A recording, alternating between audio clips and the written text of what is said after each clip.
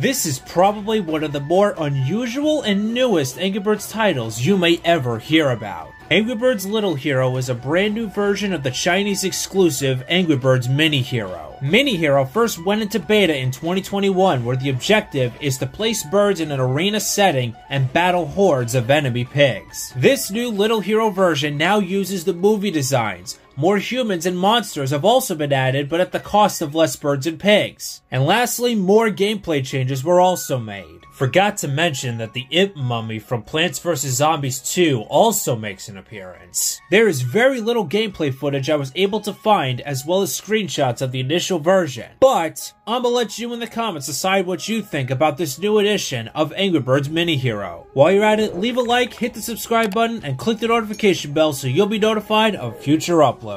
But with that said,